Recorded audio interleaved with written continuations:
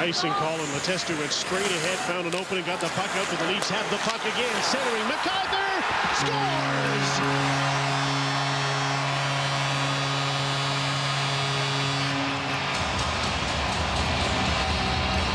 In the turnover game, it's Pittsburgh's turn to give it back, and Toronto's tied it up 3-3.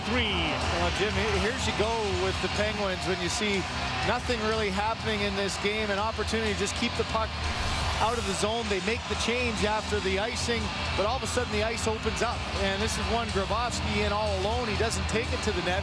And then a turnover at the blue line. Kovalev can't get it. Good seam pass here. And I wonder if that was even going to be a pass across. As watched MacArthur, he was looking towards the side of the net on Grabovski. I think he was trying to pass that.